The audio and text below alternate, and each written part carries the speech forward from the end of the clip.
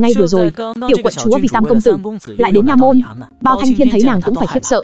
Tiểu quận chúa, người đã dậy rồi. Tiểu quận chúa, tam công tử sáng sớm đã bị phủ kim triệu bắt đi. Vương phủ chúng ta sao lại thế này? Trước là công tử, giờ lại đến tam công tử. Quản gia hứa chuẩn bị xe, bịt lão tổ. Chúng ta khởi hành. Quản gia hứa biết tiểu quận chúa có năng lực, không ngăn trở, dặn dò tiểu tứ bảo vệ tốt tiểu quận chúa. Y sớm đã đoán được sự việc dẫm đạp đó chưa kết thúc. Bốn người chết đều là bách tính những người có tâm, sẽ lợi dụng họ để đưa Tam ca vào chỗ chết. Dù sao Tiêu Vương phủ cây to đón gió, rốt cuộc đại gian thương danh tiếng xấu xa của kẻ cố chấp. Đại gian thần quá thu hút thù hận rồi. La cử nhân liệt V3 tội trạng lớn của Tiêu Cảnh Nghĩa, tội danh vô cùng rõ ràng, yêu cầu trừng trị nghiêm kẻ ác, phán hắn một thu sau chém đầu cũng không oan. Bên ngoài đông đường có ít nhất hàng trăm người dân đứng xem, bổn công tử ta giải vàng là để cảm thông với nỗi khổ của dân. họ của lên dẫm chết người khác. là ta xúi dục sao? là ta mê hoặc họ sao? những người dân đó không quan tâm đến sống chết của người khác có tổn thất là họ tự chuốc lấy liên quan gì đến ta mọi việc đều có nguyên nhân hậu quả tam công tử tiêu ra dẫu có ý tốt nhưng cũng không thể phủ nhận việc dẫn đến dẫm đạp tiêu tam công tử giúp đỡ dân chúng hay coi dân chúng như khỉ mà đùa giỡn ngắm nhìn sự tham lam xấu xí của dân chỉ có mình mới biết vị la cử nhân này khinh thường việc thi tiến sĩ sinh ra đã có cốt cách nghịch ngợm và miệng lưỡi sắc bén hắn từng giúp ba nạn nhân kiện quyền quý thành công đẩy quyền quý vào lưỡi dao dân chúng kinh thành đều tin rằng không có quyền quý nào la cử nhân không lật đổ được. Tam công tử tiêu gia của tiêu vương phủ trong hai năm qua tác quái tác quái, giúp kẻ ác làm điều ác, sớm đã có tiếng xấu từ lâu, nên bị phanh thây xé xác, ngũ mã phanh thây. Á, à, lại là đứa trẻ này. Ta cảm thấy khó chịu khắp người. Lưu đại nhân, công đừng nghiêm trang cỡ nào. Sao có thể để đứa trẻ vào đây? La cử nhân, ta rất ngưỡng mộ tài hùng biện của ngươi. Đặc biệt đến để học hỏi. Ngươi vì dân chúng mà lên tiếng. Tấm lòng bảo vệ dân chúng nóng bỏng như lửa. Không ngại nếu ta ở bên cạnh học hỏi chứ? Ha ha ha, ta có thể làm chứng. Ngày đó ta tận mắt thấy hắn và Thái tử điện hạ giải vàng trên đường phố. Ừ. Thái tử điện hạ đâu rồi? La cử nhân, Lưu đại nhân, các ngươi không mời được Thái tử điện hạ đến, hay là không dám mời vậy?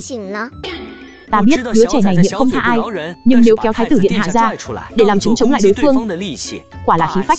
Đây mới là phong thái và tài chính của nữ nhi tiêu gia lên có. Tiểu cô nương, công đường không thể nói lung tung. Ta đâu có nói lung tung. Ngươi không cho ta nói. Vậy tại sao ngươi lại được nói lung tung? La cử nhân không để ý hắn, tiếp tục quy trình tiếp theo. Đại nhân, chủ mưu thái tử điện hạ không có mặt ở công đường. Vậy mà đã xét xử vụ án rồi, có phải quá như trò chơi không? Lưu đại nhân công minh liêm chính nhưng không dám động đến Đông cung chút nào.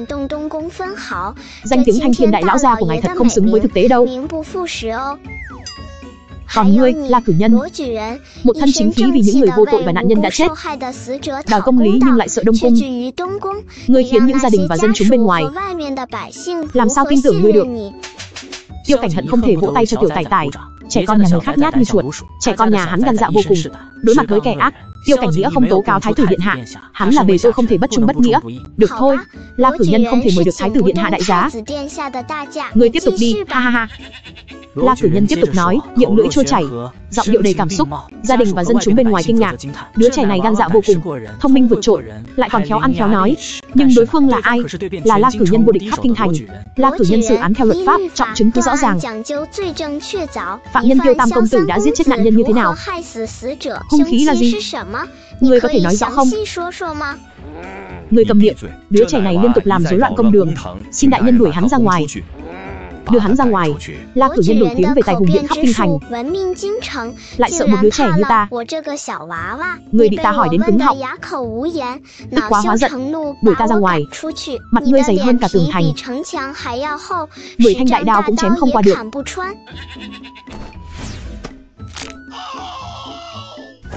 Ai dám động đến em gái ta? Đứa trẻ này là người của Tiêu Vương phủ. La cử nhân, ngươi không trả lời ta, ngươi chỉ có danh hão. Tiểu quận chúa này xấu xa quá, dám bỏ con rán vào bát của Tam ca. Tam ca nôn hết cả dạ dày ra. Liên vụ, tránh ra. Y đổ thuốc lên lưng tiêu cảnh, rồi băng bó vết thương. Tiêu cảnh cảm thấy dễ chịu hơn, vết thương nóng rát, nhưng lòng thấy nhẹ nhõm hơn. Nếu ngươi không chịu bữa đòn này, Lạc cử nhân sẽ không bỏ qua. Trên đường về phủ, Tiêu Cảnh đã hiểu ra, bị La cử nhân gắn vào, tình huống tồi tệ nhất là bị lao động vài năm, tình huống tốt nhất cũng phải mất vài tầng da. Tiểu Tài Tài không hại hắn, Tam ca làm sai phải chịu hậu quả. Huynh không thể tiếp tục làm điều xấu, giúp kẻ gây tội. Ta mệt rồi, các ngươi ra ngoài đi. Ta sẽ ở bên Tam ca mỗi ngày. Tuyệt đối không để con tiện chủng đó lại gần Tam ca. Tam ca vừa mới ngủ. Ngươi vào sẽ đánh thức huynh ấy. Tam ca không muốn nhìn thấy ngươi. Ngươi đừng đến nữa. Tiêu cảnh tỉnh dậy, nghe thấy giọng trẻ con nói chuyện với liên vụ bên ngoài. Tiêu cảnh cố tình hỏi, tứ đệ chưa đến thăm ta sao? Y y thì sao? Tứ ca đã đến một lần. Tiểu quận chúa cả ngày ở trong phòng quốc, chưa từng đến. Tam ca, huynh muốn ăn gì? Ta sẽ bảo nhà bếp làm, ngươi ra ngoài đi. Ta muốn ngủ một chút. Tam ca, đây là cháo bổ huyết dưỡng khí do ta làm. Huynh đói thì ăn đi. Để nguội rồi ăn. Đã ba ngày rồi, để ta xem vết thương của huynh. Tam ca nằm yên. Hồi phục khá tốt. Ngày mai sẽ khỏe hẳn. Tam ca, huynh nên xuống giường đi lại. Như vậy sẽ mau khỏi hơn. Vết thương ở tim, không thể cử động. Ý ta đau tay, đau khắp người. Muội đút cháo cho ta đi. Tam ca, huynh thật quá đáng. Bắt ta, một đứa bé 5 tuổi, đút cho huynh. Huynh như trẻ lên ba, bảo bảo 3 tuổi. Trẻ lên ba có người hầu hạ thật tốt. Lão tử ôm nó dùng bữa, đút cho nó ăn. Còn ta là tiểu tài tài đút cho ta ăn. Đút cho ta ăn thì khắp thiên hạ chỉ có một thôi. Ta thắng rồi lão tứ. A, à, trong cháo có thứ bẩn. Thứ gì vậy? Rắn, ruồi. Ha ha ha, ngươi đang lừa ta. Tam ca, mặt của huynh rơi xuống rãnh rồi. Bị chính huynh ăn mất. Nằm xuống, huynh định đánh mông ta sao? Đúng vậy, đánh vào người ta. Đau vào lòng tam ca. Tên tiểu tử này nói hắn người nhỏ mà ma mãnh là còn nhẹ đó. Tay của huynh không còn đau sao? Tự ăn đi. Ngươi làm cái gì cho Tam ca ăn vậy? Tam ca, vết thương của huynh chưa lành. Không thể ăn bậy được. Tam ca quên rồi sao? Lần trước ta ăn bánh hoa hồng tươi của tiểu quận chúa làm. Đau bụng, huynh ăn cháo này. Vạn nhất đau bụng thì sao? Buông tay, Tam ca huynh bị gì vậy? Ánh mắt Tam ca trở nên đáng sợ quá. Liên vụ tiểu tỷ tỷ, chị nghĩ ta sẽ hại Tam ca sao? Vết thương của Tam ca quan trọng như vậy, mọi chuyện phải cẩn thận. Để ta chăm sóc Tam ca là được rồi. Tiểu quận chúa thân phận cao quý, không cần làm những việc hầu hạ thô thiển này. Ý của ngươi là ta không đủ tư cách chăm sóc Tam ca sao? Ta không có ý đó. Vậy thì tốt, bây giờ ta muốn ở bên Tam ca. Ngươi ra ngoài chờ đi. Tam ca, tiểu tiện nhân dám ra lệnh cho ta. Tam ca đang nhìn kìa, chắc chắn sẽ đuổi tiểu tiện nhân ra ngoài. Nghĩ đến việc tiểu tiện nhân sắp bị mắng, ta vui mừng biết bao. Tam ca, huynh giận rồi sao? Ai cho phép ngươi nói những lời này? Dĩ hạ phạm thượng. Y hoàn toàn ngơ ngác, đến cả liên vụ cũng bối rối. Tam ca, huynh đang nói ai vậy? Mụ mụ cao cao tại thượng, vì đã mang cha mẹ của tiểu quận chúa trở về, nhưng lại bị tiểu quận chúa sai đi cọ bô đêm của cả phủ. Mụ mụ tức giận, đã uống hết nước vàng trong bô đêm của cả phủ. Cháu gái của bà nhìn thấy bà, đều ghét bỏ mùi khai trên người bà. Chuyển tiếp tập trước, y là quận chúa. Liên vụ, ngươi là tỷ nữ, nhớ lấy thân phận của ngươi. Tam ca là lỗi của liên vụ. Liên vụ không dám nữa. Tam ca, huynh đừng giận. Y đến thăm ta, ngươi không được phép ngăn cản nữa. Liên vụ không cố ý. Liên vụ lo lắng cho Tam ca sợ tiểu quận chúa làm ồn. Trước đây chỉ cần hắn khóc và khóc như hoa lê đẫm mưa, tiêu cảnh sẽ mềm lòng, sẽ đối xử với hắn rất tốt rất tốt. Liên vụ tiểu tỷ tỷ thật đáng thương. Tam ca, huynh nói thêm vài câu nữa. Nước mắt của hắn sẽ ngập cả vương phủ. Ta ghét nhất là người khác khóc, khóc tăng sao. Tam ca, người đi ra ngoài trước đi. Tiêu Cảnh Nghị vốn chỉ muốn cảnh tỉnh hắn một chút, dù sao Liên Vụ cũng là do hắn nhìn lớn lên, nhưng nhìn vào hành vi và lời nói của hắn, hắn không kiểm soát được cơn giận của mình. Tam ca, ta không cố ý làm huynh giận. Y, không liên quan đến muội. Nhìn cô bé nhỏ đáng yêu và hiểu chuyện trước mắt, Tiêu Cảnh Nghị không kiềm chế được muốn véo véo má cô bé. Nhưng bị Y né tránh, Tam ca, huynh chưa nhận ta mà. Không được kéo ta. Ha ha. Tam ca, huynh nghỉ ngơi đi. Ta phải đi bận việc rồi. Đồ tiểu tiện nhân, ngươi cướp mất tứ ca. Còn muốn cướp cả tam ca. Ta sẽ không để ngươi đạt được mục đích đâu. Nãi nãi nhất định có cách. Chủ nhân của phủ tiêu vương không nhiều, nhưng hạ nhân thì có 7-80 người. Vì vậy số lượng bô đêm rất đáng kể. Quản sự hạ viện lại đưa tới mấy chục cái bô đêm, phải cọ xong mới được ăn cơm tối. Cao mụ mụ không ngừng cọ, hai tay sắp gãy, Cơ thể già nua đã mất cảm giác. Điều không thể chịu đựng nhất là mùi khai khiến bà nôn mấy lần. Căn bản không ăn nổi cơm. Liên vụ đứng ở góc nhìn nãi nãi do dự. Có nên đến gần không? Khoảng cách xa như vậy, hắn đã ngửi thấy mùi hôi không thể chịu nổi.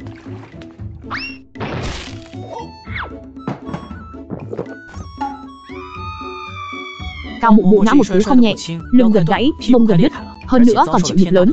Sao không thể khóc tang? Nãi nãi, hắn muốn đến đỡ nãi nãi, nhưng mà hắn đến sẽ dính mùi hôi chết người. Tam ca sẽ chê bai, liên vụ đành nhẫn tâm rời khỏi nãi nãi. Con sẽ giúp người báo thù.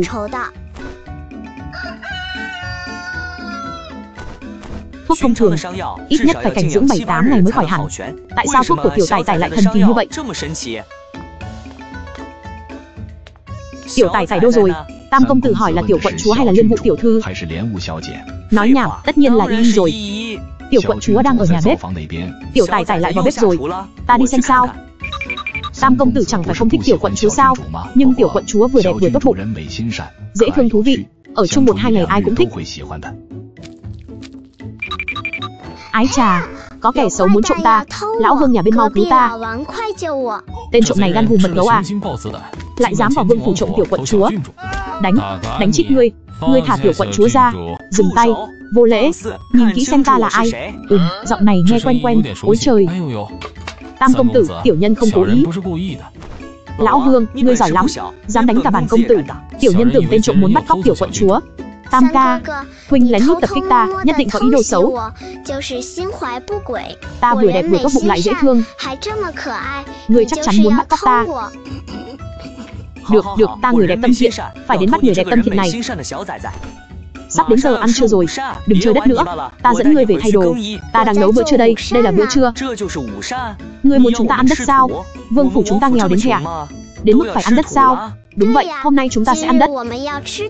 Tam ca ca huynh thật là thông minh. Bây giờ bọc mỗi con gà bằng chín lớp bùn. Lớp bùn không được quá mỏng cũng không quá dày. Gà cũng có thể làm thế sao? Để ta giúp ngươi. Y, sao ngươi lại nghĩ ra cách lạ lùng này? Bởi vì ta thông minh mà. Liên vụ nghe người hầu nói, tiểu quận chúa và tam công tử dùng cách lạ lùng để làm gà, nên đến xem thử. Thấy tiêu cảnh dịch và y ngồi cười nói vui vẻ, lòng ghen tị của liên vụ như dây leo lan tràn. Tam ca sao có thể ở cùng tiểu tiện nhân đó? Sao có thể cười vui vẻ như vậy? Tiểu tiện nhân, ta sẽ không để ngươi cướp. Tam ca, hôm nay Tam ca sẽ ghét ngươi, chán ngươi. Thơm quá, y, muội làm món gì ngon vậy? Tứ ca, người muội dơ rồi, không ôm được. Dơ thì sao? Dơ đến mấy cũng không ngăn được ta ôm tiểu tài tài. Tiểu tài tài để lão tự ôm hôn mà không cho ta chạm. Nhỏ như vậy mà đã thù dai vậy. Tiểu nha đầu tinh quái.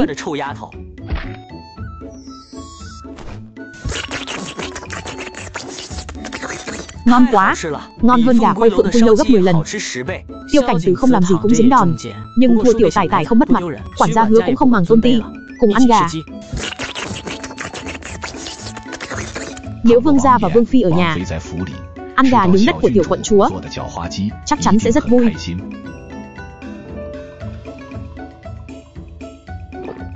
Liên vụ tỷ tỷ, qua đây cùng ăn gà. Hắn lại sắp ra chưa sao? Chính vào lúc vừa rồi, vị đại thẩm này vừa thưởng thức xong món phượng hoàng nướng do tiểu quận chúa chế biến, thật không ngờ lại hóa thành lông vũ tại chỗ. Liên vụ, ngươi nếm thử. Đa tạ Tam ca ca, đa tạ tiểu quận chúa, tiểu tiện chủng. Hôm nay ta nhất định phải đuổi ngươi ra khỏi vương phủ. Ta chưa từng ăn món gà nào ngon như thế này. Y y là ai đã dạy muội làm món gà ăn này? Sư phụ dạy muội, lại một lần nữa sư phụ phải đánh nồi rồi. Hai huynh đệ lại nghĩ giống nhau. Ngày tháng nơi sơn giá tự viện, sống no ấm cũng là vấn đề. Món gà ăn mày này, chắc hẳn là mỹ vị duy nhất tiểu nhóc con có thể ăn được. Tiểu tài tài đã chịu bao nhiêu khổ cực, bọn họ phải gấp 10 gấp trăm lần yêu thương nó, bù đắp cho nó. Lão tứ, nghe nói thiên tứ tử lâu ngày nào cũng đông khách, phượng quy tử lâu cửa nát nhà tan, ngươi vẫn chưa nghĩ ra biện pháp sao? Tứ ca ca, đại chủ của VBG bị thiên tứ tử lâu mời đi rồi. Đã tìm được đại chủ mới chưa? Vẫn chưa tìm được đại chủ phù hợp, đại chủ là gốc rễ của tử lâu. Món ăn phải đạt hương vị chuẩn. Tử lâu mới có thể kinh doanh lâu dài. Ta thả đóng cửa tử lâu, cũng phải tìm được đại chủ hài lòng. Liên vụ, như làm sao vậy? Tam ca ca, bụng ta đau quá. Hứa quản gia, phái người đi mời đại phu. Tam ca ca, vì sao các ngươi đều không sao? Chỉ có ta trúng độc, không nhất định là trúng độc. Ngươi đừng suy nghĩ lung tung. Ta có phải sắp chết không? Không đâu, đại phu sẽ đến ngay thôi. Món gà ăn mày có vấn đề. Nhưng ta cũng đã ăn mà. Không sao, nhưng cứ gặp liên vụ lại xảy ra chuyện.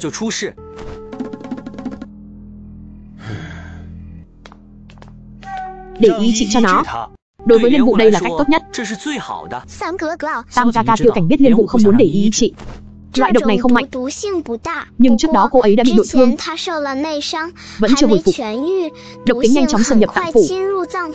Qua nửa canh giờ nữa, hắn sẽ phải xuống hoàng tuyển báo danh. Liên vụ trúng độc gì? Món gà ăn mày là do tiểu quận chúa làm. Tam ca ca, ta không cần hắn cứu ta. Lời này hàm ý, chẳng phải là tiểu tặc hạ độc hại hắn sao? Ta làm món gà ăn mày, lại hạ độc. Chính là muốn độc chết ngươi. Ha ha ha, Tam ca ca, tiểu tiện. Tiểu quận chúa thừa nhận rồi Đủ rồi, ta và y cùng làm Món gà ăn mày, ý ngươi là ta cũng hạ độc sao Nếu món gà ăn mày có độc Vì sao chúng ta đều không sao Tam ca ca, vì sao huynh không tin ta vì ngươi ngu ngốc. Tin một đứa trẻ con ngu ngốc. Tam ca ca sẽ tự đập nát não heo của mình.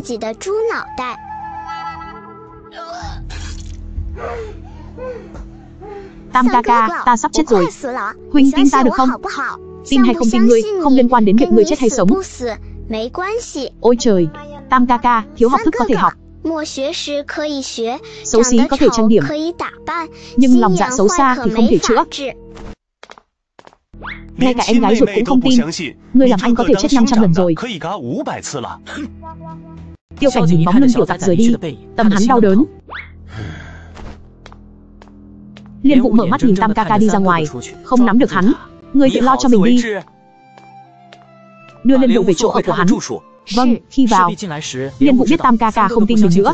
Tam công tử Liên Vụ đã bị thương, vì tăng phụ mà nội thương xâm nhập tạng phủ, nhưng không nguy hiểm tính mạng. Ngươi bảo nó dưỡng thương tốt, không có sự cho phép của ta không được vào hậu viện, rõ? Buổi trưa y ngủ một giấc ngon. Tứ ca ca đi làm việc rồi. Tam ca ca không biết đi đâu chơi bời. Ta cũng muốn làm việc. Tiểu quận chúa bị kẻ xấu bắt cóc, chắc là một âm mưu. Ngươi hỏi quản gia từ để hiểu rõ tình hình. Đúng rồi, sao ta quên mất việc này? Ta phải tóm kẻ xấu đó ra. Kẻ xấu đó hại tiểu quận chúa. Khi mới 2 tháng tuổi đã phải xa lìa gia đình, đã chịu đựng bao nhiêu khổ cực nơi núi rừng, còn khiến người trong phủ tiêu vương tự trách. Bao năm qua tiêu vương và vương phi du ngoạn tứ phương, cũng là để tìm tiểu quận chúa. Quản gia hứa, 5 năm trước ta bị mất tích thế nào? Tiểu quận chúa vừa sinh ra đã yếu ớt nhiều vậy. Tiểu vương phi bế tiểu quận chúa trong tường bảo, đến thủy nguyệt quan khâu phía tây thành gặp chân nhân thanh phong. Chân nhân y thuật cao siêu, tiểu vương phi mời ngài điều trị bệnh cho tiểu quận chúa. Sau khi chẩn đoán, chân nhân đi lấy thuốc. Tiểu vương phi bế tiểu quận chúa, ngồi chờ dưới bóng cây. Lúc đó, một nam đồng dâng một chén trà. Vương phi uống xong liền bất tỉnh. Là chân nhân đánh thức ngài.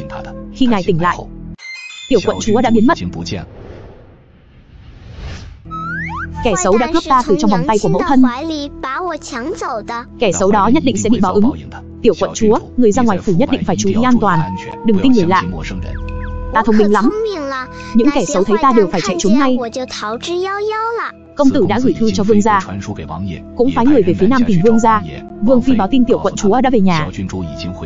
Vậy là ta sắp được gặp phụ thân và mẫu thân rồi. Đúng vậy, phụ thân và mẫu thân chắc chắn giống ta. Người đẹp, tâm thiện, lại đáng yêu. Kẻ xấu đã bắt cóc tiểu quận chúa. Có phải là cao mụ mụ không?